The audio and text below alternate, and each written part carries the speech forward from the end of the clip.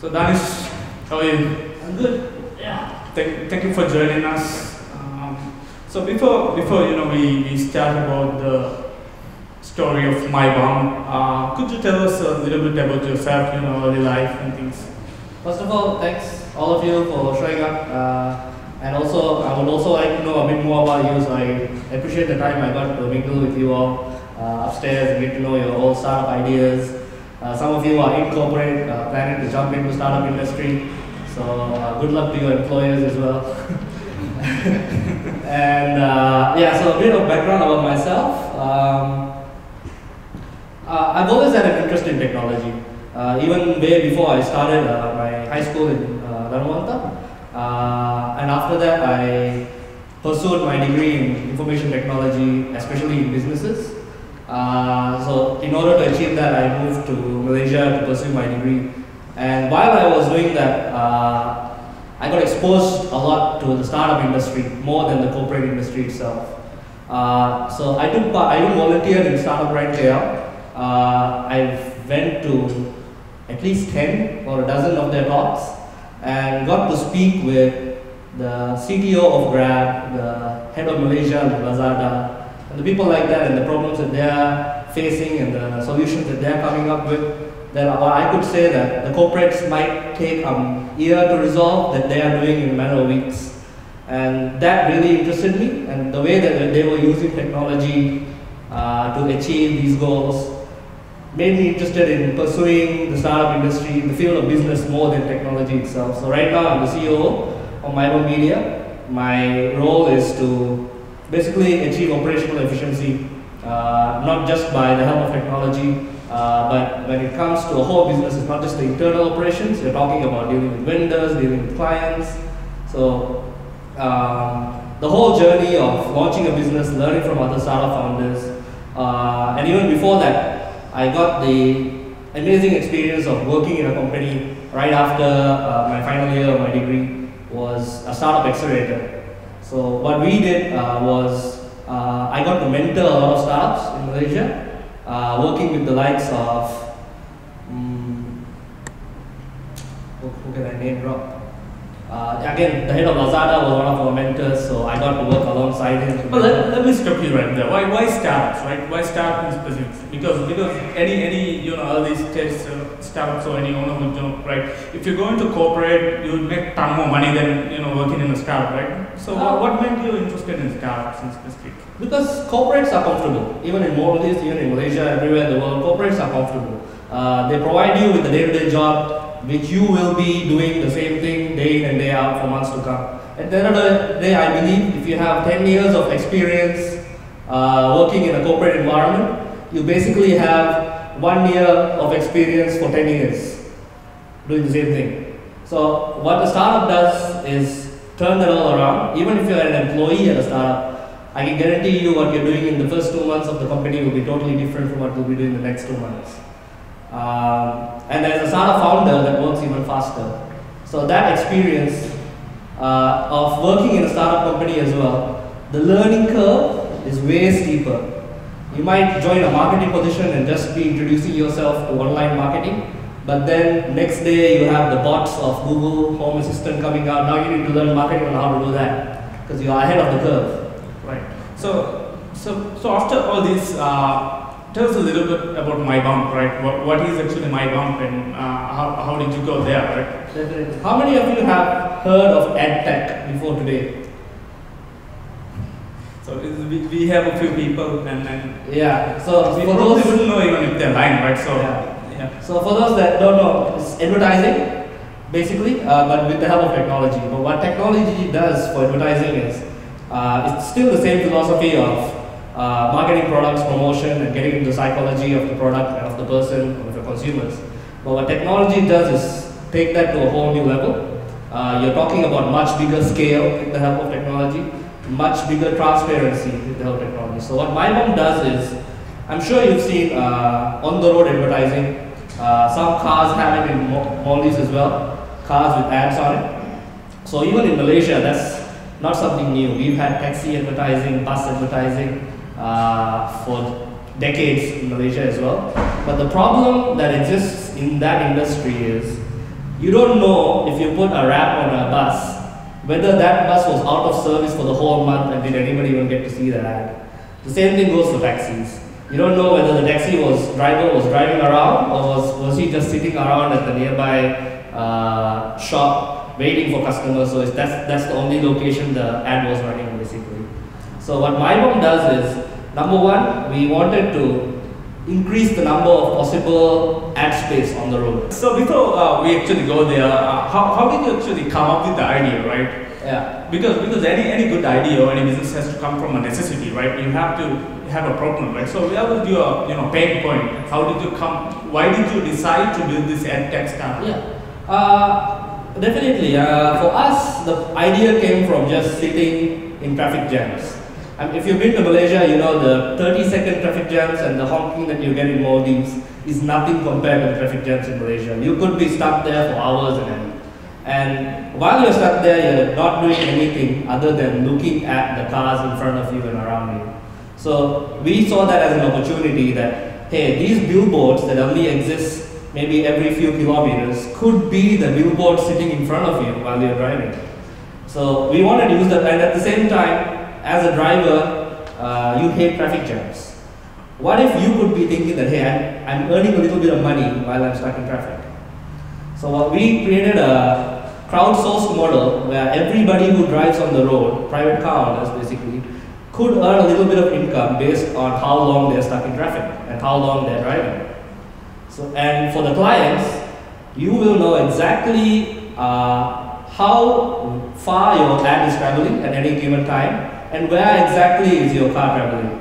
So based on that information, the client knows exactly where the money that it's going. The So it's like it's, spending it's, for. it's, it's like uh, moving billboards, right? Exactly, yeah. It's on the road mobile billboards. And these are real people with real lives basically endorsing for your brand while they're driving around. And so it's a win-win uh, for advertisers. They're not basically talking to a bus company or a taxi company anymore. They are touching real people's lives by getting them to endorse brands on their car. And Right, and, and, and, and so you have a problem, right? You have you have a solution as well. The next step is how, how do I get customers, right? For you, you have uh, two portions there, right? You have to get the drivers as well, as well as you have to get the advertiser, advertiser on board as well, right? Yeah. So in order to go to the advertiser, you need to have uh, drivers, right? And in order to go to the drivers, you need to have a campaign, right? So how, how did you actually tackle this? Uh, that's a very interesting. Uh, in the startup scene, we call it the chicken and egg. I mean, in any industry, the chicken and egg problem. The clients want drivers, drivers want clients. Uh, nobody wants to come on board before we have the other. But we found out that uh, the issue is the same. 90% of people will ask, so what are the clients that you have on board? Uh, the clients will ask, what are the drive, how, what are the numbers of drivers you have on board? So we, we tackle these problems uh, at the same time together uh, for both clients and drivers. So as a startup company, you don't have a lot of money uh, to do marketing, uh, whether you want to get drivers on board or whether you want to uh, get into the face of the client. So we've done a lot of interesting things. I think uh, one interesting thing when we did when we first started in order to get drivers was we found out there was a car owners expo. That was like the exact market that we wanted to tap into. Uh, but then when we went to reach reached out to the expo guys, they charged us almost uh, 2,000 US dollars for a booth. And how do you have that kind of money, right? yeah. So uh, What so we so what we did was pretty smart. We still went to the event, but we didn't go upstairs. We went to the parking lot. We put flyers on every single car there. So, so, so you found a better way to, you know, Yeah, we, we, we, we spent less than ten dollars on all the flyers. That's, that's very interesting. So, Yeah. So once you got the idea and the, the whole you know business model in place, uh, how did you raise finance? What, what did you do immediately? How did you uh, just go ahead? Yeah. Um, before getting into that, I want to share about the client side a little bit. Sure. Uh, so when we reached out to clients, uh, we uh, we did have a good number of drivers on board. I think uh, within our first month, we managed to get over a thousand cars on board. Uh, within the KL area, that was the most of the advertising was happening. And what we found out was we reached out using uh, LinkedIn marketing, that sort of thing, to the head of marketings of all the big companies. So one of the we, we, we thought really big. We thought, okay, the first client we're gonna get is Maxis. Maxis is like basically the Dhiraagu of uh, Malaysia. yeah. Yeah. uh, but the reason was not because uh, we thought, okay, we could land Maxis from right from the Yeah, get-go. yeah, yeah, exactly. That's what I'm thinking. And what were you thinking? Because you, if, if I remember correctly, you are a lean startup mentor as well, right? So Yeah. when you go and knock on the door of Maxis, you know for a fact that you are not going to get this deal, right? So because you are not going to every average business, right? So what were you actually expecting to get there, get done? No, th- that's the whole point. I mean, we weren't expecting if we do get a deal, then that's a miracle. Uh, but even if we don't, what we get, the expertise that we get from Maxis is second to none. So right from that meeting, we learned that oh, they don't really care about our whole technology platform. All they care about is uh, the legitimacy of the drivers. Uh, and when we showed our tech platform, we basically had a PowerPoint presentation of a tech platform we hadn't even built yet. Uh, so with, with that information, they, we asked them directly, so out of all these features, you can see the hours people are driving, where people are driving, what do you really want to get, right? So from that we knew, okay, we need to prioritize the heat map feature. We don't really need to prioritize the hours spent feature. So with that, because we had limited resources, we had one developer who was just graduating from their degree, uh, we knew exactly what to tell him, hey, you don't need to build the whole thing, we just need this first, right? Um, so that's why we went. So the whole point of a lean startup is getting customer validation. So, Right? so, so, so you weren't there to get punched on your face, but still get some valuable data, right? Exactly. So Even if you what do get punched on your face, you come come back with something. You know, you, you failed at closing the deal, but you learned so much more, and maybe you saved yourself, saved That was the ourselves. next embarrassment, right? Yeah, uh, months of development time uh, and wasting our time basically. That is very interesting way of it because I, I have seen a lot of people who are attempting to build startup. They start with the tech, right? Mm. The, the, the minute they have an idea, they go and build a product. They will build an app, they will build a website or something. And by the time they take it to their client, that is not what the client wants. And what you have done is the complete opposite of that. And that is what you should do, right? You, you do the validation first, right? What customer is looking for and what you need to build, right? So that is that is brilliant, I would say. Yeah, uh, I think one, thing that uh, I would like to share with everyone is like if you want to build a tech platform, you don't need to have the tech know-how in order to sell the tech platform. All you need to be is good enough to basically uh, create a mock-up of how it would look like and then sell it to them. When the when the client is ready to pay money for it, then you worry about okay, how am I going to make this a reality? Otherwise, you are just wasting your time and resources, right? Building something nobody wants. There are a lot of startups that are in uh, what they call uh, stealth mode because I'm busy building the tech for the company. I don't want to uh, let anybody know about it. Yeah, I'm not telling anybody because I'm building the next big thing, right? So I don't even want anybody to know. And the, and the, and ironically, the what happens here when you build this in stealth mode, and when you tag it out there, nobody wants to use it. Exactly. So, so, so go out there, talk to people, get validated, right? So because if you are, we, have this concept called the copycat entrepreneurs, which is not, not a bad thing by the way, because what they are doing is they are taking a model which is working somewhere else and they, they are replicating it, right? Yeah. But but the challenge for most people is, and even for you, I think, would be how how are you gonna differentiate people who are just copying you from yourself, right? How how are you actually gonna make that move? How are you gonna keep driving your innovation? Yeah, I, I think it, it, uh, he's totally right. After we came out, uh, my mom came out as well. We were the first in the market, uh, and especially today, first mover advantage doesn't mean much.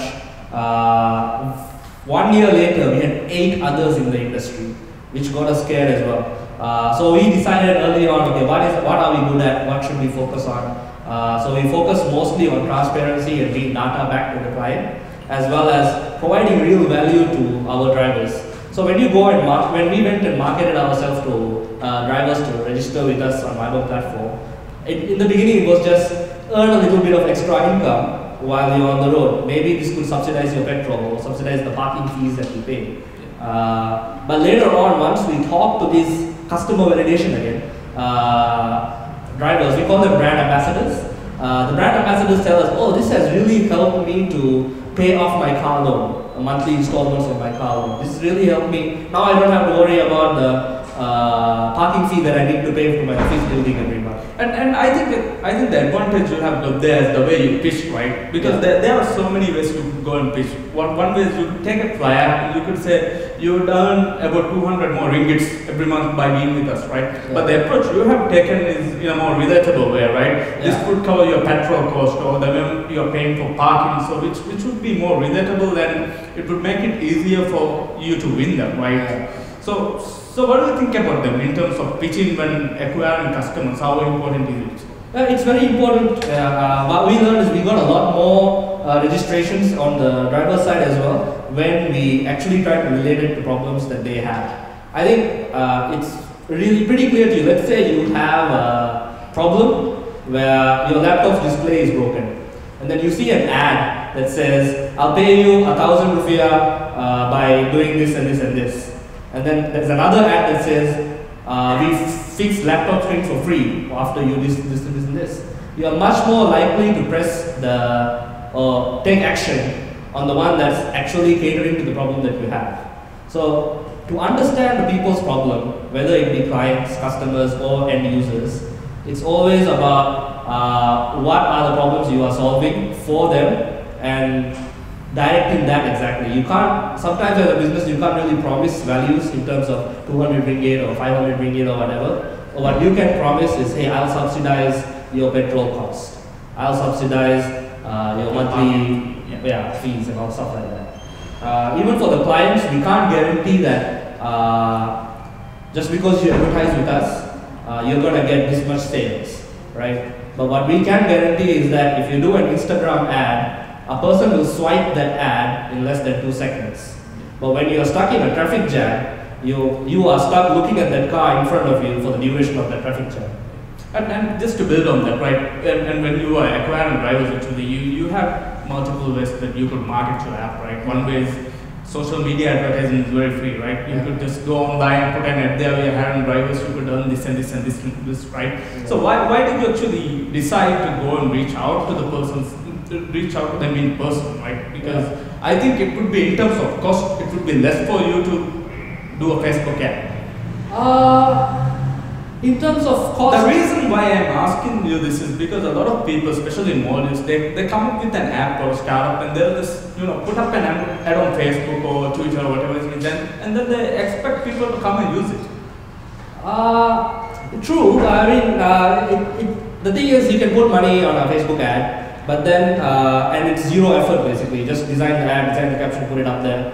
But even if you've had experience running ads, you can see the success percentage is less than five percent, right? So at the end of the day, that percent, the as a operations person as well, you have to look at the success criteria, no matter how much work you need to put into it. Uh, so what we found out was uh, word of mouth marketing is best, and it does. The more word of mouth marketing effort you put in, the less effort you need to put in. It's, basically a proportional effect. If you have ten people talking about your brand, then those ten people will talk to another people. That's like hundred people, right? If you have hundred people talking about your brand, talking to other another ten people, it's like a thousand people. So uh, on the driver's side, to this day, in our four years of operations, I can say we haven't spent anything on marketing in terms of money. In terms of time, of course, we spent a lot. Still, yeah, time Yeah. is money, right? Anyways, uh, so so once you have some uh, drivers on board, Yeah. uh, how did you get your, you know, close your first client? Oh, that's a very interesting story. So when we first uh, got our first uh, client on board, we were bootstrapping. Uh, me and Nadia uh, weren't paying ourselves anything. We were just trying to prove to ourselves as well, is this business going to work? And, and before you started, you, you both were in corporates, right? yeah. And and you you are taking a very high risk there because a lot of people tend to do it comfortably, right? I will just do this as a side hustle, right? So why did you go full time, knowing that this is a very risky thing? Uh, To me, it sounds like a very stupid idea, right? So, what, what, what were you thinking? no, uh, uh, he's right. I mean, uh, it's a very difficult thing to jump out of the comfortable uh, chairs that corporates put you in. Uh, but the thing is, I believe to this day, if you're doing your startup idea as a si- side hustle, uh, it's going to take you not twice, but more than four times the amount of time it's going to take you to actually validate your business and get a client. Because at the end of the day, you want to meet clients to sell your product, but you're stuck in a different office building and you can't go have that meeting uh, for that very reason, right? Um, and we wanted to validate the business as fast as possible. So it, me and uh, my co-founder, both of us took a leap of faith, uh, and we gave us a timeline uh, of four months to okay, can we get a client uh, to pay for this service? Can we get this many number of drivers to register with us? And can we? The main point was can we make money out of this, right? Uh, so when we got our first client, uh, it was a roaming telco company. I'm not sure if you guys know FlexiRoam. So FlexiRoam is a roaming telco company that has presence in over 100 countries. And it's, a startup company as well, but they were much bigger than us. Um, so when we pitched to them, they really liked the idea and they ran with uh, 100 plus drivers. And just to share with you, we didn't have any technology back then. But So no app, nothing at this no point. app, nothing. But when Just we pitched, bluffing. we were just bluffing. Yeah, we were. Uh, we showed them a mobile app that drivers have, which they didn't really have yet. We showed them an advertiser dashboard that showed a heat map and showed the amount of impressions and mileage that uh, they would get uh, out of, they would see in real time. Oh yeah, in real time was actually funny as well. We told them uh, these numbers will update daily at midnight once a day, just as fast as how your bank updates your information in Malaysia. So uh, real time is real time basically. So how we worked it out was we didn't have an app, but we had a whole lot of phone, phone numbers and email addresses of people who registered on our website. So we actually emailed every single one of these uh, brand ambassadors to, hey, we have a campaign uh, with FlexiRoam. This is how the ad's going to look like. Uh, if you are interested to take part in this campaign, please reply, I'm interested. so uh, we got the replies, we put them all uh, in an Excel sheet. So we managed the whole campaign super manually. Uh, so every day after we got the uh, bumper sticker on their car and they were driving around, uh, me and my co-founder would actually uh, message them or call them up and ask, so where did you drive today? uh, so in the afternoon, you were at this location, that location. Or can you send us a picture of your odometer every single day while you're driving as well? So every night, uh, my co-founder would spend time on an Excel sheet, inputting everyone's odometer numbers and getting their mileage on a daily basis. And uh, I would be uh, take a screenshot, taking a screenshot of Google Maps and coloring certain areas based on where these people said they were driving. And as, far as the client is concerned, I have all the data, right? This Yeah. then right? So they, they just log into a web page that I update every night at midnight, and the next day it's a it's an online app that works on a real time basis, right? Uh, and we got a lot of learnings from that as well. So at the end of the day, we learned that uh, even for the brand ambassador app that we were planning to develop, we didn't need a lot of features like getting drivers to register and uh, say that they're interested for a campaign. That was one of our main features, right? Get notified whenever we have a campaign via the app. We realized, hey, we could just do that by email.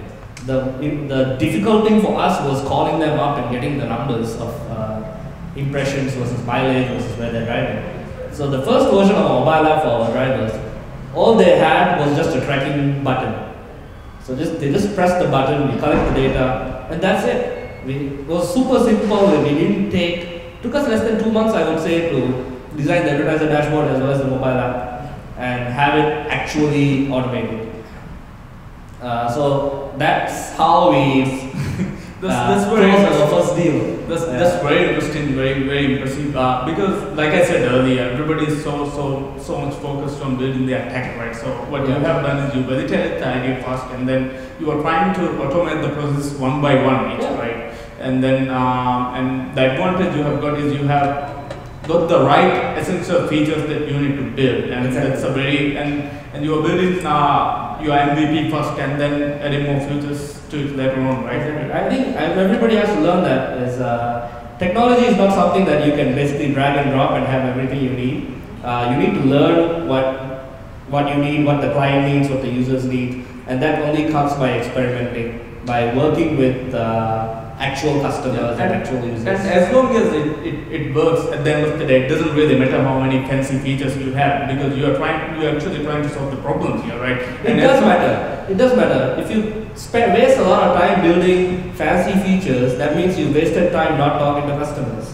Yeah, correct. Yeah. What I'm saying is when, when you when you're building, it doesn't really matter that you have a lot of fancy features as long as you have the essence of feature. Yeah, the key ones right? that they're looking And for. For you guys, it was the tracking button, right? Yeah, Right. that, that, that was it. Uh, we, when we when we first, I think all of us have this problem when we envision the app. It looks beautiful. It has ten thousand different features and ways that you can interact. And I, it. I, and I don't think you guys even had an iOS app for a very very long time, right? Exactly. So we found out that the kind of people that are actually looking to earn income are Android users because iPhones are really expensive.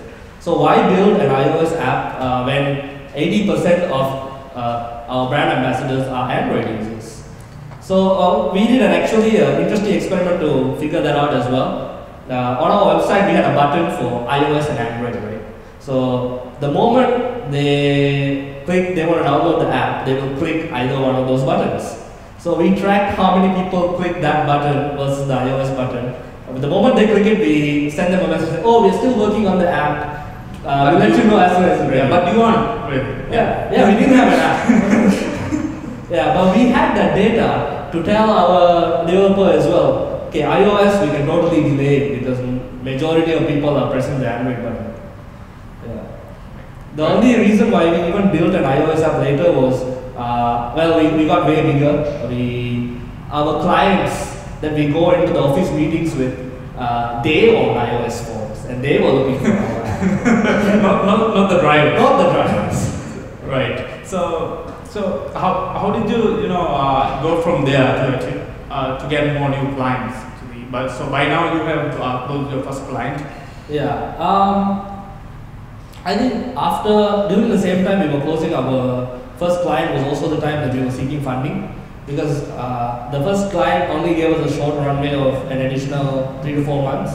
Uh, so we needed that time to actually uh, we we have validated in the market. We've spoken to a lot of clients, gotten good feedback. A lot of the information that we got from the likes of Maxis and the big players were they wanted more case studies. They wanted to see the experience that we had gained with other clients. And, uh, so we knew the market was there. It's just that we were very young. Um, so we were also fundraising. In Malaysia, there are a lot of uh, meetups and hangouts with investors where you can pitch uh, your startup idea to businesses. So we spent a lot of time. I would say we have almost, we would have knocked on more than 50 to 100 doors of investors, uh, trying to pitch to them, trying to have coffee meetings with them. And how do you feel, you know, when they keep this saying no? Don't you think it's time you know pack your bags and go home? Sometimes uh, it's a really traumatic, I would say, experience. Uh, but you, you you build a certain level of resilience uh, dealing with all those no's. Uh, but when you do get that one yes, everything becomes worthwhile again. Uh, so we did pitch to a lot of investors, and we had actually people come up to us and say that I want to hear more, and that was basically. Uh, that, that was basically it for us. We had people with boatloads of cash that actually wanted to sit down at a coffee and learn about our progress. Even at that point, we didn't basically, it's not a one shot thing, you know, you can't just go to an investor and ask them for money and they put in money. They need to build a relationship with you. And even for you as well, you don't want that kind of investor that basically throws in money at you and then hopes for the best. So we had an, uh, we discussed with many different uh, aspects of the business. They were asking me how our team doing, uh, what were the client meetings you had. So I would say we had close to two months of just coffee sessions of us learning about each other. Because at the end of the day, investment is also a marriage. Because you will be, this investor will be uh, breathing down your throat at every AGM. So you need to make sure you have the right kind of attitude, the right kind of people uh, working with you in startup as an investor as well. Uh, so the investors that we did get were amazing angel investors that came on board, um, and even today, and the reasons why that we decided to go with them as well was not only because we came to a negotiated uh, valuation that we could both agree on, but it was also because right off the bat they came with a network of like over 20 clients that they could introduce us to. And, and you're building the company as well. You're getting getting more clients at this point, Yeah. right? And there and there are these bigger companies, you know, like Grab, Uber, who have a who who has a big you know driver base, right? So Yeah. once you the way I see it, you're doing homework for them, right? You're coming up with this new idea, you're validating for them, and instantly, just one day, they could roll out these services to millions of drivers, right? So, Yeah. why actually considering that scenario? Uh, yeah, we were, we were, we were. Well, uh, what, what are you gonna do? You know, this one fine day, Grab announces that we have this. You know, they are doing the same thing with uh, Grab Eat or Yeah. Uber Eats and those things, right? Just to, I'm not sure if you're familiar, uh, what you're just grinding me on right now has actually happened. Grab recently, I think at the end of last year, launched Grab Ads, uh, which is basically doing exactly the same thing that we are, right? Uh, but what Grab doesn't have, but clients that uh, appreciate on our side is they're not as specialized as we are at. Uh, come on, that is what any small company would say, right? We, they wouldn't be able to give the specialized service we give. Uh, yes, but we have the case studies to prove it to them as well. Alright. And at the same time, uh, what we do for the clients is not just uh, slap on an ad for the car. And at the end of the day, Grab ads is being seen more as taxi advertising than it's being seen as consumer backed advertising. Because even uh, right now, Grab drivers are required to be full time, registered as taxi drivers, and our drivers are doing it uh, as a side income job and the number of the amount of money that they need they are paid out that the clients need to pay to advertisers is totally different from uh, our payment model as well. We pay on a per mileage basis, they are a flat lump sum fee. So basically, if a competitor comes up, uh, it's nothing to be scared about. I mean, it's okay, I'll be honest, I did get scared, but then it forces as an entrepreneur, as an entrepreneur to think deeply on okay, what make what's the differentiator between you and another competitor that has a boatload of cash. Uh, so for us, it was how special our technology platform was. Uh, although sure, but they could do the same technology platform, right? Or even better, or even a better one. yeah, but what is your USP here? Our USP at the end of the day is currently our drivers. Uh, our drivers, uh, are the, our pool can never be beaten by Grab.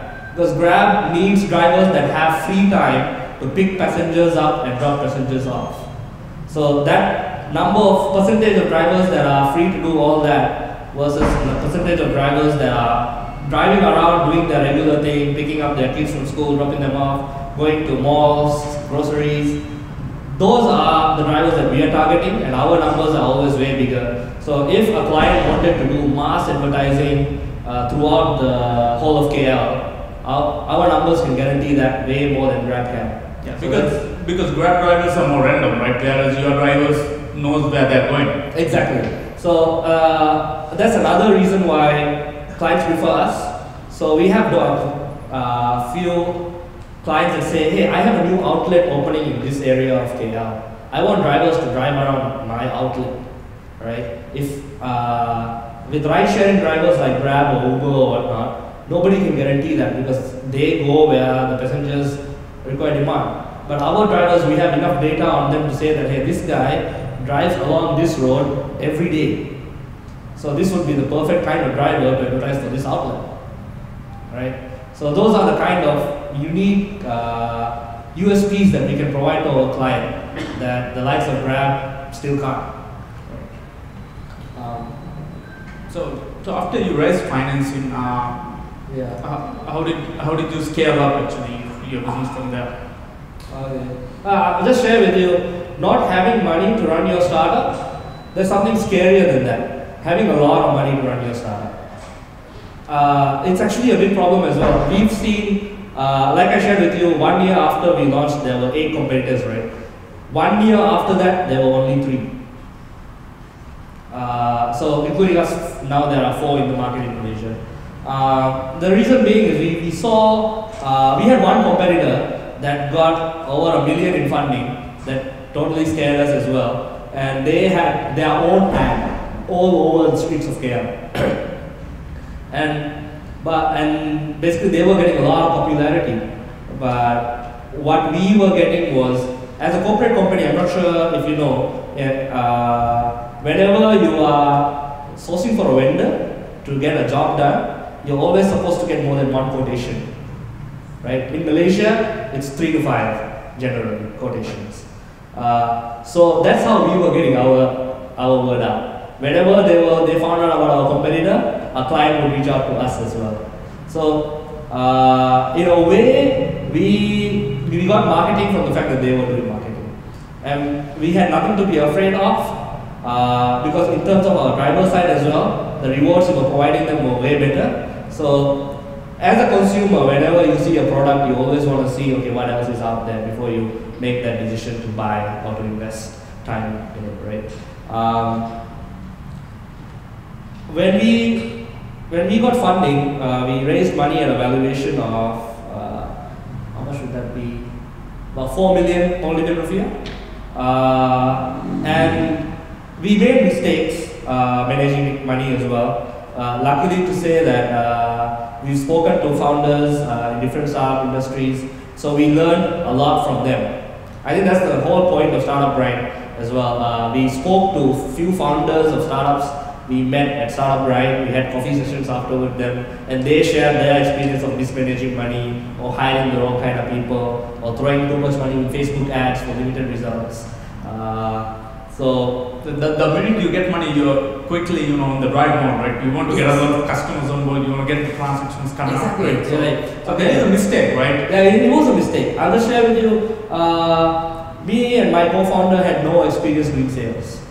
Right? I come from an operational background, uh, project management background, uh, tech background. My co-founder comes from a legal background. So we had no experience in sales.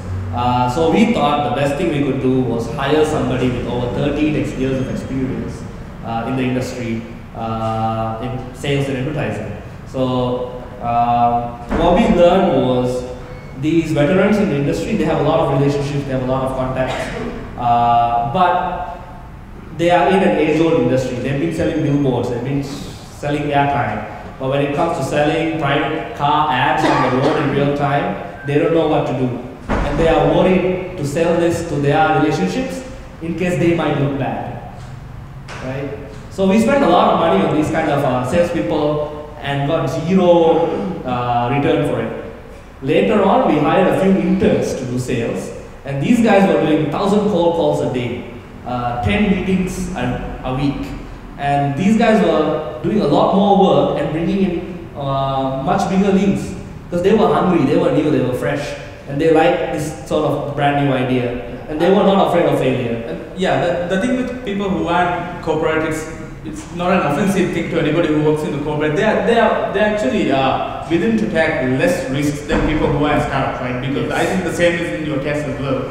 Because uh, they have much more to lose here, right? But if you hire an intern, if you hire who have more startup mindset, they have not, they are willing to take the risk, right? Because any anybody who actually wants to start a startup or do a startup, one thing is you have to be willing to take the risk and willing to fail, right? And Exactly. your interns, I think, were willing to fail. Yeah, I think as a startup as well, one, one thing that we actually have printed on our walls for our whole team is fail fast, succeed faster. So even if you think you're gonna fail, just do it, just get it done. Uh, and then find out, okay, why did you fail? And that learning is gonna help you succeed the next time you do it. Right? Don't be afraid of trying it just because, uh, okay, you're not sure whether it's gonna work, you're not entirely 100% sure whether things are gonna break down, people are gonna hate it. Uh, there have been times where you've done ads uh, and had nobody basically interact with the ad.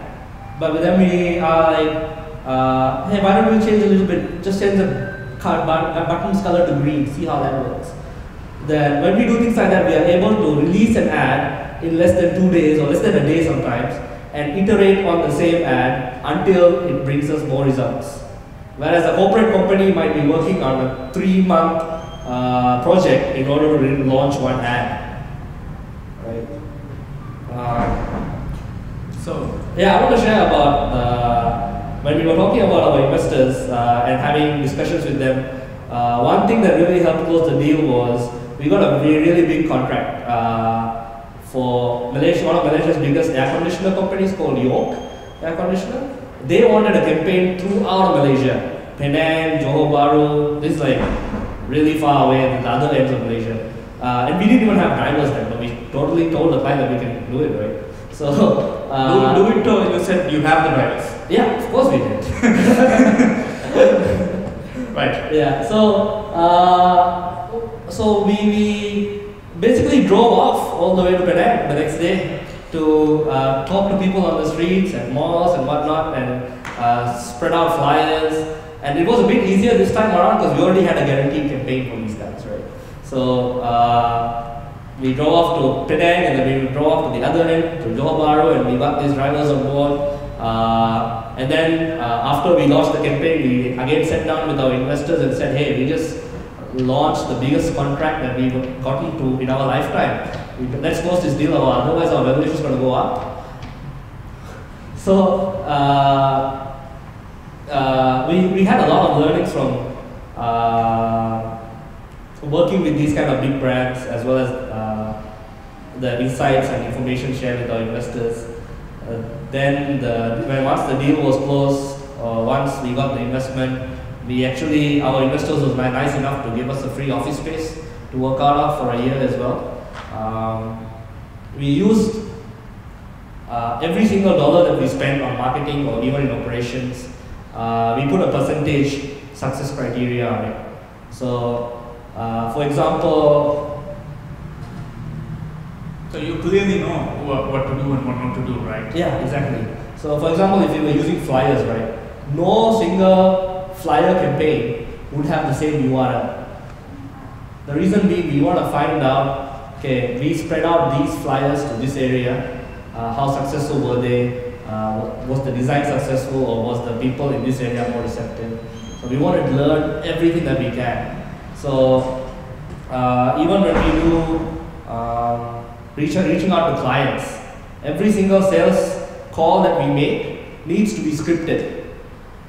And then we spend a whole week using this script and see how many people say, say yes to a meeting. And then we try out a different script and see what percentage of people say yes to this script. Right. Then we know what's successful, right? Right. So, so you started about in 2015 or 16, right? Yes. So it has been what four years now already. So, so uh, at, at any point in this, you know, four years, because you would have your ups and downs, you you know, at, at any point in this four years, did you think that this time to you know pack your bags and go home? Every other day.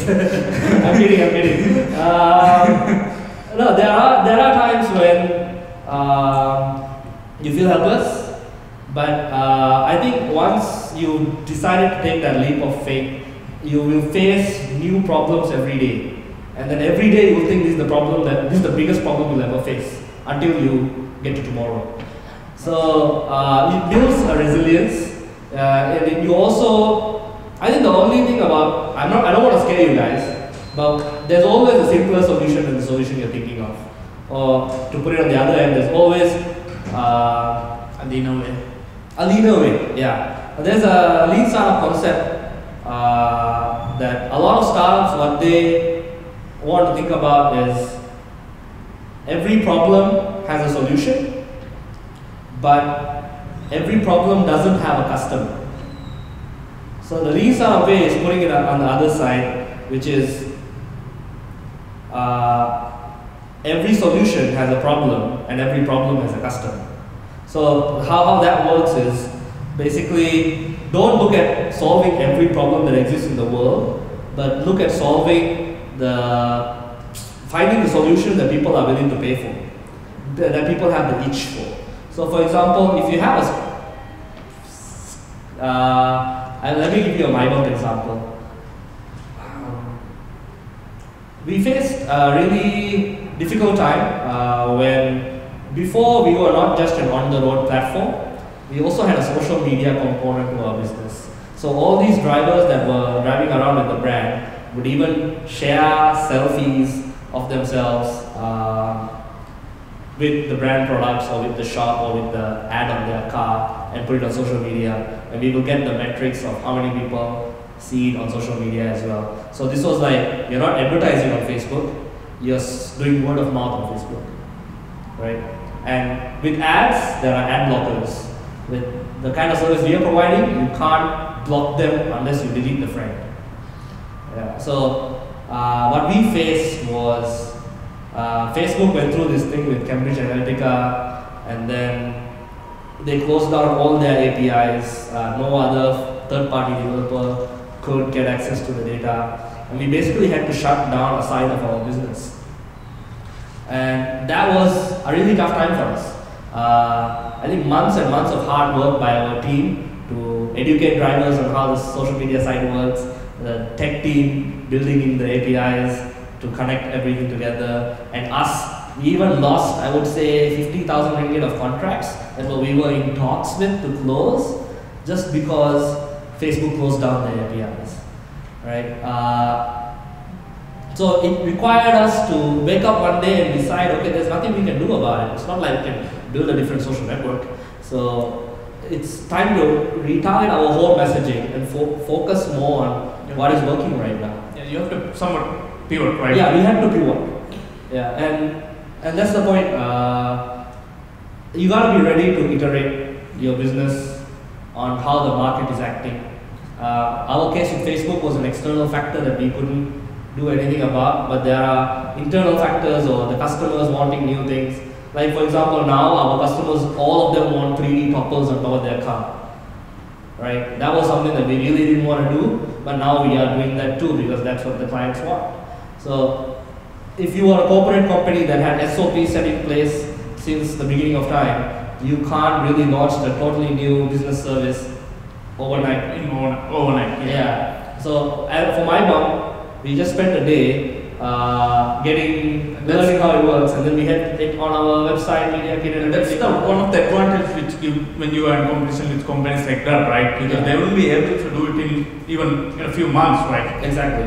Grab consider them, considered themselves a startup, but now they're so big that uh, we are 100% sure we can move faster than them. Right.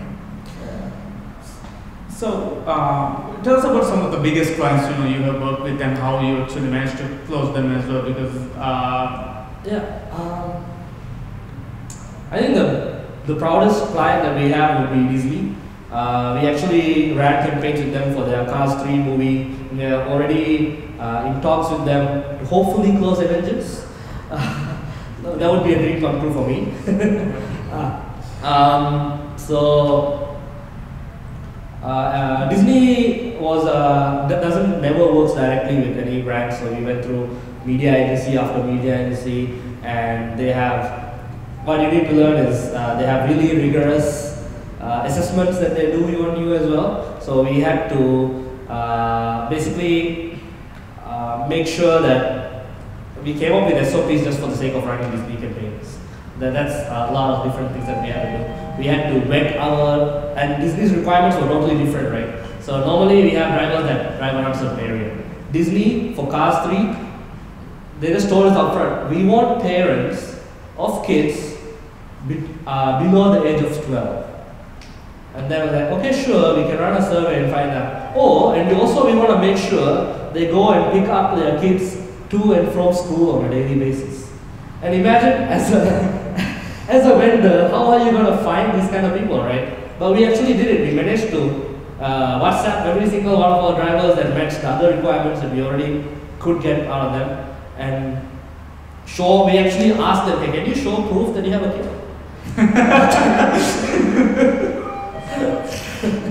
yeah, so we, uh, what I'm trying to say is when you're a startup company, when you're trying to land big deals like this, you need to you go above and beyond. You'll be willing to take. Yeah, Go to go above and beyond. And as a startup company, because it's just you guys, you don't have a lot of bureaucracy or red tape or SOPs you need to follow. So you just get it done.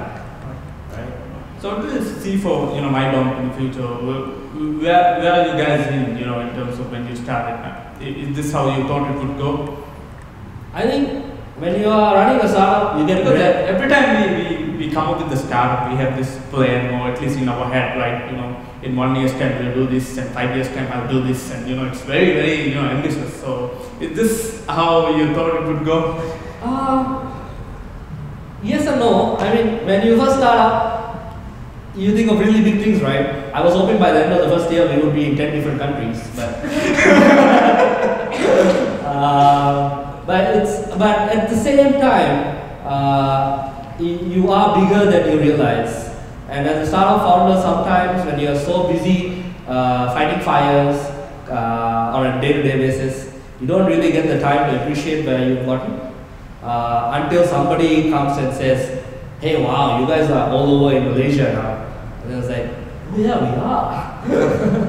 right? That, that happens even to this day. Um, uh, hey guys, you have like one third of all the drivers uh, in Selangor, for example. Then they're like, oh yeah, we do, you know. Um, so it might not be the achievements that you envisioned that you were gonna have when you first started, but even for us, when we look back, hey, it's only been three years, and now we have a team of 10 people that are working on this with us that believe uh, that this is an actual thing and this can become way bigger than uh, even we thought it could.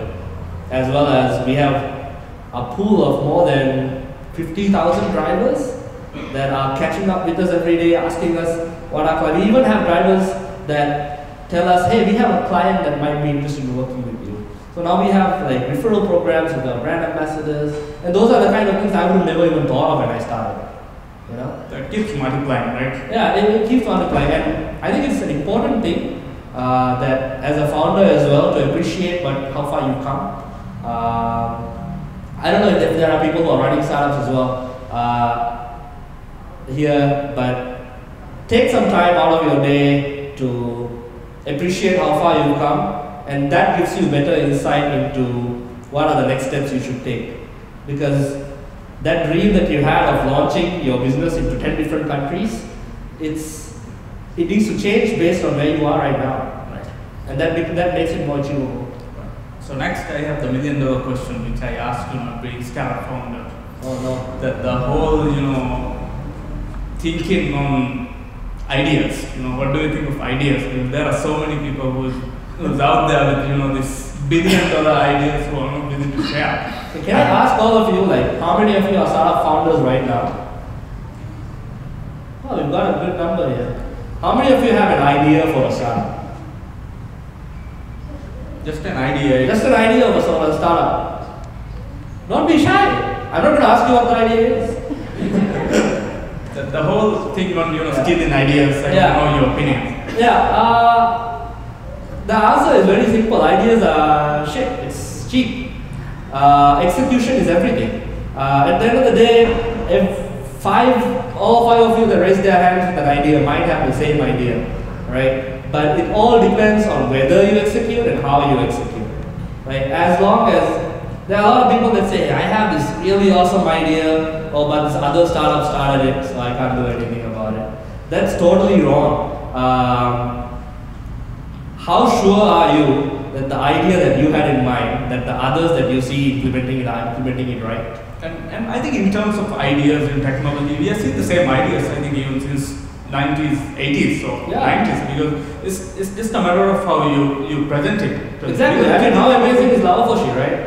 I, idea-wise, if you think about it, uh, Messenger, WhatsApp, Telegram, they're doing the same thing, right? It's about how they do the presentation is different, right? So ideas, like you said, are very, very, very cheap. And the, the problem, the reason why I keep asking this is because there are so many people out there in this country who has ideas, but they haven't willing to share, right? Yeah. And they are they're worried about that their idea might be stolen, and then they can't even do anything about it. Yeah, exactly. So, so get your ideas out there and do something about it, right? Definitely. I mean, I think the first thing you guys need to, uh, everybody needs to realize is that uh, nobody can, uh, you don't need to be worried about uh, people stealing your ideas.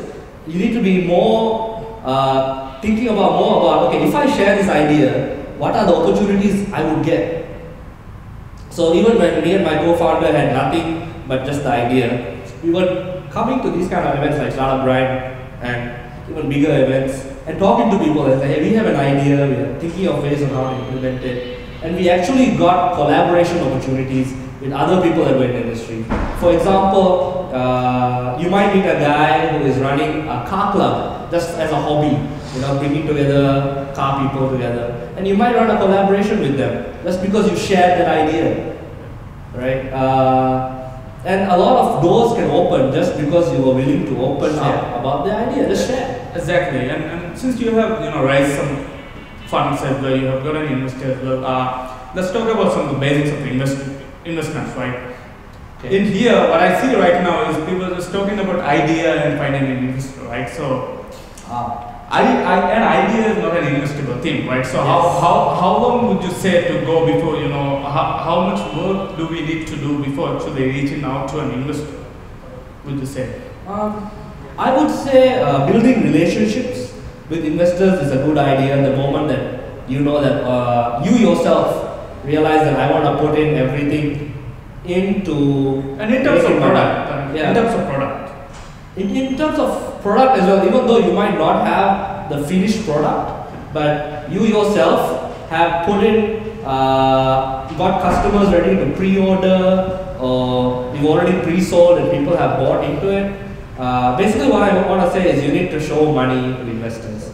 You can't get. Uh, there, there are very rare cases where some people get money on an idea, but there are 90% of those rare cases end in the product failing because the entrepreneur themselves don't know how to make money. how to make money, right? Uh, a lot of startups in Malaysia as well, they get a, uh huge investment and a runway of 12 months, but then they need to shut down because they were unable to monetize. So I think the most important thing for you and for an investor as well is to uh, have monetary proof and have a roadmap of how you're going to make money. So, and it works in your advantage as well. And there are a lot of founders that say, oh, I couldn't work on my idea because I couldn't get an investor to invest in my startup. Uh, but the more monetary proof and traction you have for your business, the less chunk of a business you lose to your investor. And to be honest, uh, I've seen founders and entrepreneurs lose interest in their business because at the end of the day, no matter how successful it gets, you're only getting 20% or 10% of the pie. Right? For us, we didn't raise, we bootstrapped, uh, we pulled in whatever money we had and we didn't pay ourselves anything until we were able to get negotiated valuation that we were all happy with. And we told our investors upfront as well, if you take up more than con- the controlling interest of the company, what are we waking up for? Right? So even for yourself, if you can't decide the direction of the company yourself, uh, you are less inclined to be interested in the business. So when talking to investors, I think first thing you need to know is you need to know your numbers. You need to know Why you need the money as well, right? How you're going to spend the money. Yeah, I, I'm assuming that's a basic thing. Yeah, of course you should. generally, know, Yeah. generally when people, I, I think so, I could be wrong as well. Yeah. I've seen people come in and asking for money, but they don't know how they're utilize, they're going to utilize the money, right? So it's like, okay, I'm going to ask for one million rufiyaa, and then by the time I get one million rufiyaa, then I'm going to figure out how I'm going to spend the one million rufiyaa. Yeah, that's a complete no-no. I, I mean, you need to be able to justify every single cent of the money that you're asking for to the extent of, okay, I want to spend, let's say, 200,000 on advertising. Then you need to have the answer of, okay, how many users or clients do you aim to get with that 200,000 spent? Right? So those are, I would say, basic things that you need to know before you even speak to an investor. But most important thing is you need to have numbers. Uh, you don't need to, don't have projections, but actual numbers of uh, clients that you have worked with or users you have already registered, that, that sort of thing. Um, Right. should we open up the floor? Yeah, I was thinking about that. So now that we have, you know, Yeah. discussed majority things, uh, we'd open for open up for any questions from the audience. Anyone? Yes. I think we have a mic over there.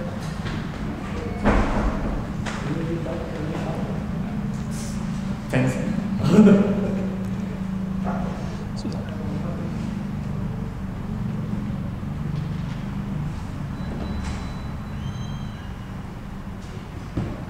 Hi Dhanish. Yeah. Great talk. Thank you. Um, I have two questions. One is in in marketing, do you think it's a good idea to have a face of the company or like a mascot or an ambassador as a face of the company? Uh, my second question is tell us a little bit about your work ethic. Oh no. uh, okay, to the first question, uh, if you ask for my opinion, um, to have a person, I wouldn't uh, recommend that because you're depending too much on that person. And e- even if it is you yourself as the founder of the company, uh, there will come a point when you need to focus on other things and you you not being able to show up for the photo shoots or whatnot, uh, become the prop, uh, you are becoming the bottleneck for the marketing department, right? Having an ambassador, a mascot works for. Uh, it depends on the kind of com- company that you are starting up. Uh, for MyBump, we are targeting more towards businesses. Uh, we are B2B in terms of monetary transactions and all that. Uh, it doesn't really make sense for us to invest in creating a mascot or a cartoon character or some sort of that sort of thing to uh, empathize with big companies. But if you're a B2C company, I've seen a lot of companies gain success by uh, creating mascots for their brand to relay messages, to show up in ads. I think one example would be what's the company that uses a mascot? I was hoping you wouldn't ask me that. I can't think of But yeah, yeah. Off the top of my head, I I can't. don't think it works because we don't remember. Yeah. but yeah, uh, uh, it helps cater to the message. But at the end of the day, uh, the marketing should always relate back to the customer, and that doesn't really need a face. That doesn't really need a ma- mascot. I think uh, even when just to name drop Dhiraagu as well, when they do ads, they try to relate as much and to the end consumer and their behavior when they show us their ads most of the time. And Just to add one more thing there, I, I, I could give you an example of you know a case where it has worked very well without a mascot. Uh, hotel, Trivago. So you don't really need a mascot. You know they have they have done it very well. In fact, they have gone to the extent where they are doing it in Korean English. now. Yeah, it's true. Uh, yeah, the work ethic question, right? Uh, there are good days and bad days. uh, so, with regards to work ethic, uh, I think the most important thing as a company and as for me as well, I don't care what time our employees show up to work. I don't mind if they come in after lunch or they leave before the sun is, uh, I mean, like 3 or 4 p.m. either. So, our whole company, even for myself, the requirement is you have a set number of tasks we, that we decide every week that every team member, every department that needs to complete, even I myself need to complete. And you are judged based on how much of that were you able to complete. So the, the requirement is basically 100%. If you have any less than that, then you need to justify that. But I don't mind if you don't show up to work at all during the week, if you're able to achieve that 100%. So uh, even for us, we only have one day for meetings, which are on Fridays, or we work Fridays. Uh, every other day, uh, if there is a meeting, I actually go into the meeting room and ask, why the hell are you having this meeting? You guys should be working. Because I believe meetings, especially uh, learning from my own corporate environment, I've sat down at meetings that last four to five hours and get nothing done, uh, and have to work late nights, uh, get delayed to the next week. Uh, so meetings are a no-no unless it's super urgent. Uh, so work ethic wise, personally for me, there are days when I get nothing done when I'm just brainstorming and pacing around the office and maybe even what's a nice way of putting it? Checking up on other people's work. uh, but there are days when I totally zone everybody out and uh, make sure everything that needs to get done is done. So even when I'm in Maldives, even today, this morning, uh, I was nosying around on everybody's work, had a call with every single one to making sure uh, the requirements for the whole week were complete. So Friday, uh, I'm not sure if you know sprints. So we do this thing where every Friday we demo, everybody has to present, oh, these are the things I managed to complete the sprint. If you're in marketing, you have to show, uh, I did this marketing campaign, this is the result of the marketing campaign, uh, operations and all that. Everybody shows off. And then at the end of the meeting, we do another planning session for the next week. So that's when we set, okay, these are the 20 things you need to complete by the end of this week. Sorry. Yeah. Uh, I hope that answers your question. I'm, I, I avoided it by talking about the company operations and not my own work ethic. Else? Yeah. Hi Dhanish. Um, just wanted to ask you, I'm an entrepreneur, right, in Malay. I have my own business here. and Awesome. A very big challenge that I face sometimes is that when we work with a consultant or when we work with even our internal team, I try to instill motivation in the people we work with. What do you do, and what are your ideas on carrying this out in a long-term perspective, and how to maintain that? What would you call it? That motivation, like that internal sense of Or to you- keep them driven, right? Yes, exactly. It's a good question. I think uh, I'm learning about that more and more as well. Uh, I think as an entrepreneur, one thing that I I try to do is at least I read one, minimum one book a month yeah, about entrepreneurship, business, and management. I've tried positive reinforcement. I have tried negative reinforcement and failed terribly. uh, I think the most important thing what I've learned is every employee or team member is happy when they know that uh, you trust them and they have the ability to make a difference. So, for example, uh, just to share with you the the site that handles our marketing. I once the marketing is uh, handed to him, it's like okay, we need to get uh, we need to reach out to at least 100 clients that are in Penang, uh, brands that are in Penang, right? After that, that is the task. How he does it, uh, how long, uh, how long is that sprint, but how he does it, how he manages to pull it off, how much uh, of other team members or help he needs to bring in, I don't ask him.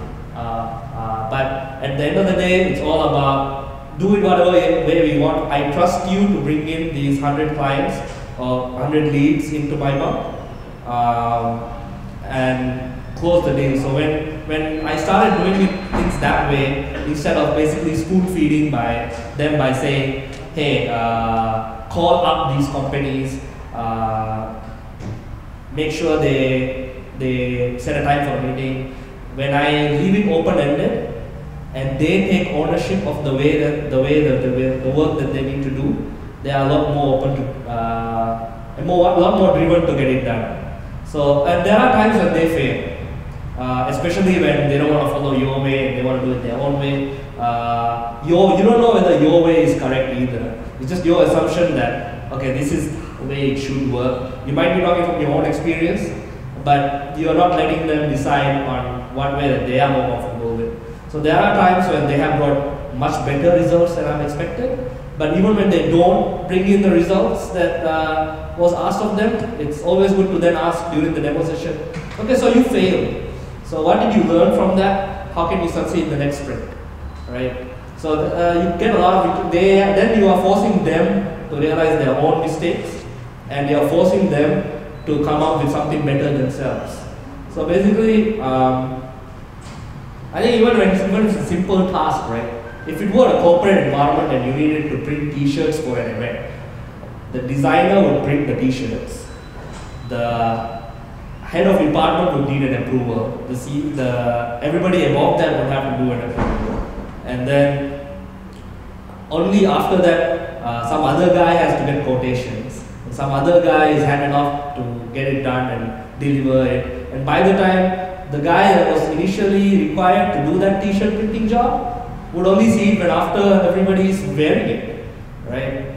Uh, but when you hand one guy the job of designing, printing, and getting it done, you are trusting them to roll it up. There are, and as a startup founder, you actually don't even have the time to review everybody's work. You actually have to trust them to get it done. So I think what drives our team at least is knowing that they have the freedom to uh, do it any way they want.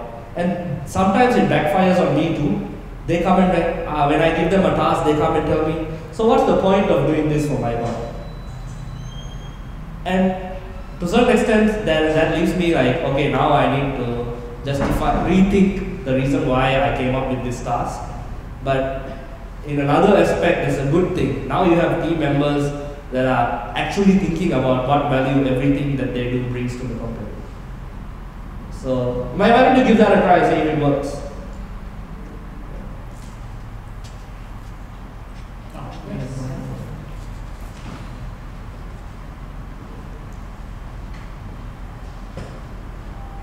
Uh, Hi, uh, Shaf, you speaking from articles.com. Yeah. Uh, actually, uh, it's not a very technical question which I really have. So I'm having this uh, for like many years, at least let's say five years since I came from Bangalore. Uh, so like we have so many challenges in all this, right? Transportation, healthcare, uh, road safety, uh, and all of top we have politics as our biggest challenge to solve, right? So like if, if you see like outside Maldives, let's say uh, Europe, uh, maybe uh, United States or other developed nations, I think uh, tech startups have changed a lot of things, right? So I think you have come across this far because you would also have thought of a lot of different things. So as developers, as uh, tech startups or whichever the startups, what do you think we should do in Maldives in order to improve these things across uh, the whole uh, country itself actually? Because I really find it very sad to see a lot of good people leaving this country in terms of technical. I know engineers in UK, uh, doctors, specialists in United States, in all these places, Singapore, Australia, the list goes on, New Zealand also. So how, what do you think we should do uh, to, to, to bring this back or maybe to, to, to come up with something that could uh, eventually help us to improve in terms of technology? That's my question actually. So I haven't found any solution to that. Just wondering. I usually ask this question to a lot of people actually. So, So the, your question is how can we improve technology in Maldives? yeah, in general, like how are we gonna like do this in general? Like, Uh, I think uh, one thing, especially from a developer's perspective, is you think that every problem can be solved with the help of technology. Uh, Okay, fine. Uh, but what I wanted to say was technology is not always the answer, and solving every problem is also not the answer, right? Um, so I, I've tried, I've had this problem as well, uh, where even in the Maldives, you're trying to fix every problem with the help of technology, but then you face roadblocks, whether it be uh, people are not interested, or the uptake is not there, or maybe the roadblock might even be political, right? Um, so it's a step-by-step process. You can't solve every single problem uh, at the same time. And when you think about, okay, there are problems in transportation, there uh, could be shipping, could be ports, could be many logistics, uh, could be even transparency problems as well. Uh, but you gotta find out as an individual or as a startup founder, what is the problem that you really want to solve or that really needs solving, right? If I work on the problem of uh, solving the transportation issue, uh, is that a problem that I'm really passionate about? And you've gotta take it one step at a time. And even though you face issues on a political standpoint or whatnot, you've gotta find out. Uh, so I've, I've had these discussions with even uh, policy makers in Malaysia where I have this problem, hey, let's find a way to solve this problem. Uh, but at the end of the day, they have their own problems. That's what I learned, right? So when I go to them and try to solve my problems, I'm faced with a closed door. But when I go to them and solve their problems, every uh, it's basically you're using technology to inadvertently improve the technological infrastructure of whichever company that you are seeking help from, and that in turn helps the technology that you're trying to build and integrate with them. Uh, one very simple example is uh, when MyBump, we needed to reach out to the authorities in Malaysia about traffic, about putting ads on cars, and they had this regulation where every single ad that goes on the road uh, needed to be approved by the, the authorities, and it was a very lengthy process. Every single car needed to fill out an application forms, show pictures of the car with the ad on, just the car without the ad on, and that was super long. And now we are in talks with them to automate the whole thing because it solves the problem for them as well. So we, we did tell them that hey, uh, we have a problem of uh, putting the ads on because your approval method is still so slow. We went to them and said, hey, do you want to improve your operations in terms of approving ads? Right? And after that's done, we can go and tell them, uh, okay, we're going to be throwing you a lot of applications now. Uh, I think uh, uh, to answer that question, they try to think of the other perspective of the person you're trying to solve the problem for, or the perspective of the roadblock that you might be facing, and solve the problem for them. And don't do everything at once. Try to solve one problem at a time. Anything else? Um, if we if we don't have any, any questions from the audience, uh, we have ah Yes. right. Um, next one. Hello. Uh, going back to the question about risk. So, it, uh, coming from a corporate background myself as well, uh, as we know, corporates are very risk averse, right? And startups are, by definition, should be Risk prone. risk prone, right? Having no risk, embracing risk, Yes, right? embrace it. yes. But um, uh, the approach is different for every startup. So, what is your approach to balance this delicate situation where you find out when you come to work tomorrow, your marketing guy has spent the whole 200,000 ringgit budget for the whole year on t-shirts? You know, like how do you make sure that this is the, how do you strike the balance in your company, in MyBump? And the second question is for, uh, because you have been involved in startups, startups and different uh, enterprises for a while, even features and stuff. How do you know when to quit? That is, it's, it's a very difficult question, but not everything succeeds, right? When you when you decide when it's not going to work out and when you want to switch over, uh, you know, move on? Yeah, to answer your first question, uh, with regards to where do you strike the balance of are you being embracing risk or just being stupid, right? um, so everything that we do at MyBump, we treat it as an experiment.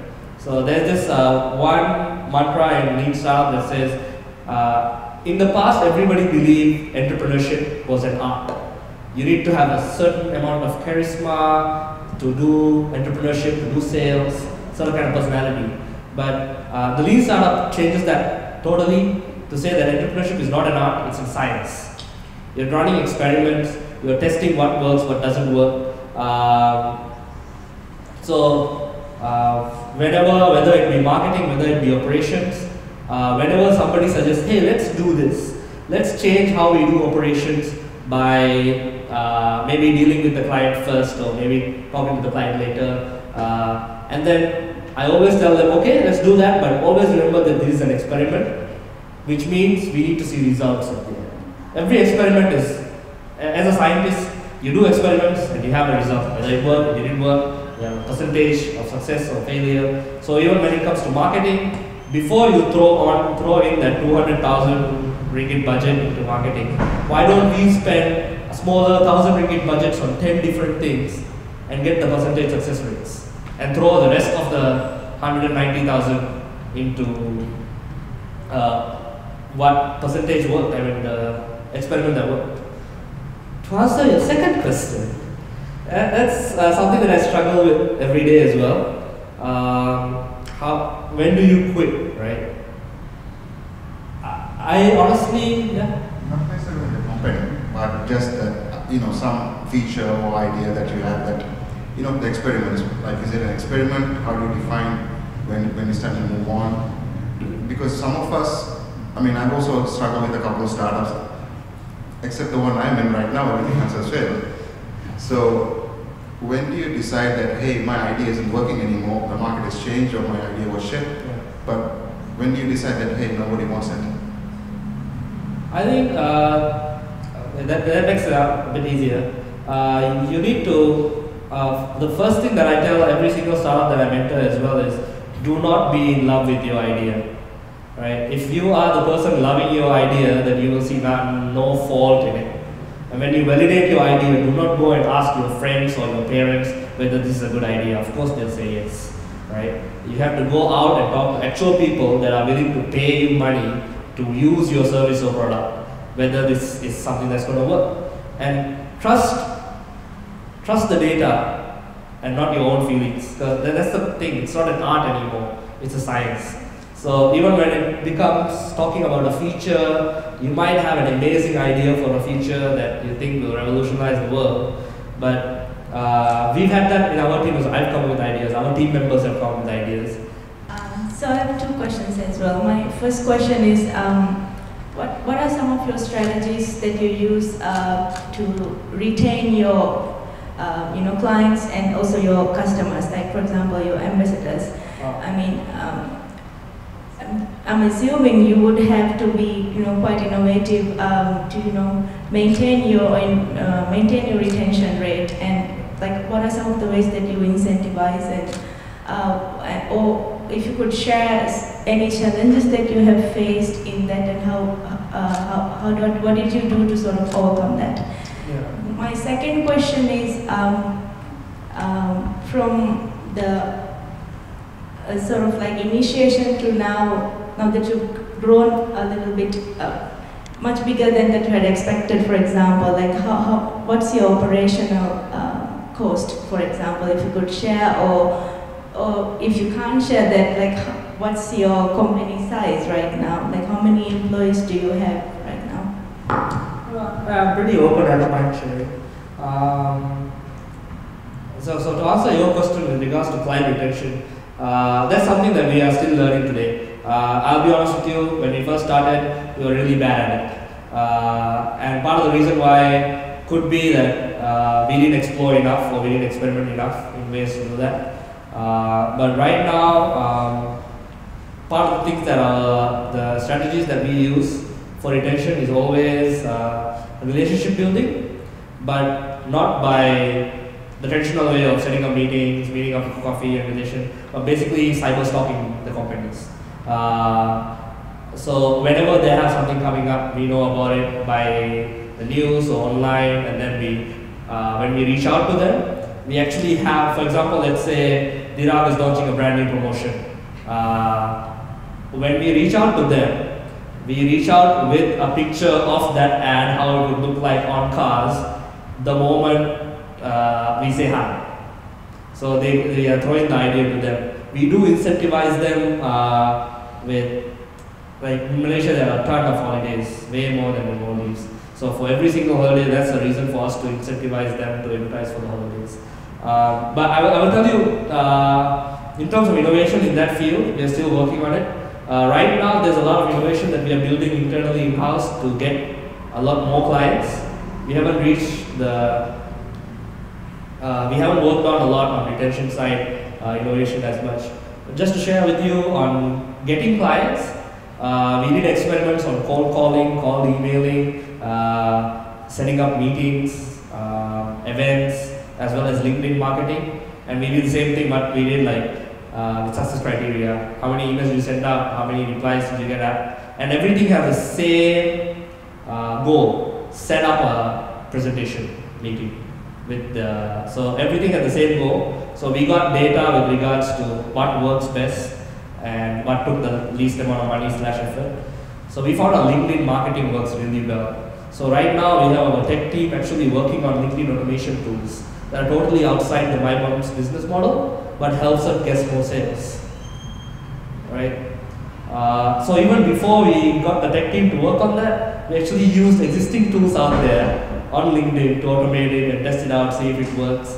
And we found out that uh, more than 10% of people we reach out to actually book a calendar slot for a presentation uh, using LinkedIn. So that's how we are trying to innovate the sales funnel. I'll let you know once we innovate the retention side. uh, your second question was, yeah, how much was our burn rate, right, basically. Um, happy to say we are way leaner than any other company in the industry, at least uh, in Malaysia.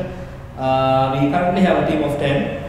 Uh, we have two uh, developers who are Maldivians as well.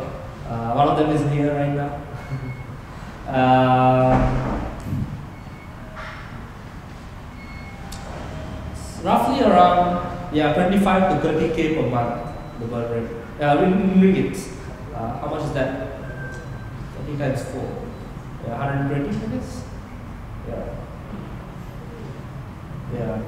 So uh, one thing that we are still proud of is when we do startup mentoring sessions for the first whole year of our business, we spent less than 70k ringgits to launch our website to get our first two big contracts uh, and register over 12,000 drivers. So the and there are it's not that difficult to stay lean to be honest. Uh, yeah, I can share later about lean practices. Let's take a break for prayers.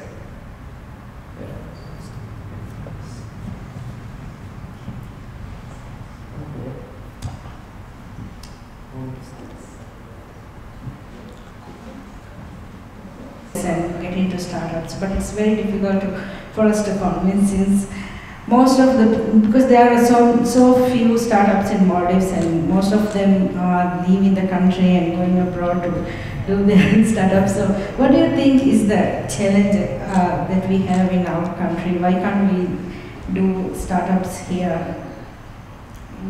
Um, I, I think uh, it comes with, for startups to succeed, there are a few ingredients, I would say. But I think it's, it is slowly showing up uh, in Maldives. Uh, I would say three years ago, we wouldn't even have imagined things like this happening in the Maldives, right? Uh, it's slowly coming into play. Uh, I think the main thing uh, that uh, investors, not investors, a mentor network is what startups need. A mentor network of mentors, whether it be from other different startups, like guys like Harris uh, or myself, um, or it could even be industry specialists. Like uh, even though there are people from corporates, they can share a lot of great insights about how they've done marketing. And you, and as a startup founder, you can decide what you want to absorb and reject. Right? Uh, but I think what Maldives lacks is first of all a reliable mentor network and uh, uh, basically the idea of when me and uh, my co-founder started, we actually had uh, monthly or bi-weekly coffee sessions with founders of other startup companies, right? And then we just were very open about problems that we were having. We would just say, oh, we had a meeting with this client, he was so annoying, you know? We'd just be very open about it, right? Uh, so I think those kind of community events, similar to Startup Grind, and even more informal events, where people are more open to share about, even if it's just ideas, right? Uh, let's say you have an idea you're interested to work on, but you don't know where to start. Just be open about it, and then things like that happen. Uh, secondly, uh, I do feel Maldives does require a bit of work in terms of investor education. Investors don't know what they're investing in uh, when it comes to investing in startups. Uh, so that also requires a bit of work, I would say, in the Maldives. How could we improve that? Is again more being more open. But there are actually uh, talks for investors in the Malaysia in Malaysia where uh, the idea is uh, basically this is what you need to look out for when you're investing in tech startups. This is how they're different from property investing or uh, traditional business investing, things like that, right? So those kind of things, I do feel that Maldives is on the right track. It's just, uh, I would say uh, Malaysia was in this stage back in 2014 uh, when startups were still in their infancy. So give it another two, three years, I would see, I think we would see a lot more of that happening. Um, for the case of people leaving the country, uh, I think once things start falling into place, and we have people like Haris and more people volunteering like Women in Tech as well to turn this into a startup ecosystem, uh, they'll come back. Or we'll have new blood jumping in as well. Yeah. Why? Did I say something funny? We, we have someone who's doing that, so he is a bit ironic. who is also a partner of Sparta Bezos, so it's a bit funny. Uh, so, any more questions? There's a good chance because he'll be flying off to Malaysia again and you can't find him on the streets, Yeah. unlike us. Yeah, that's true. But if you come to Malaysia, then you know. Um, that's about it. Okay, so, yeah. So since we don't have any more questions from the audience, this is going to be, uh, we're going to wrap up for today. And once again, uh, thank you, thank you so much for coming in and joining us on Friday. Uh, we will have more events in the future. Uh, with Dhiraagu and Sparkle, we'll be organizing stuff, grand events. And see you again soon. Thank you so much.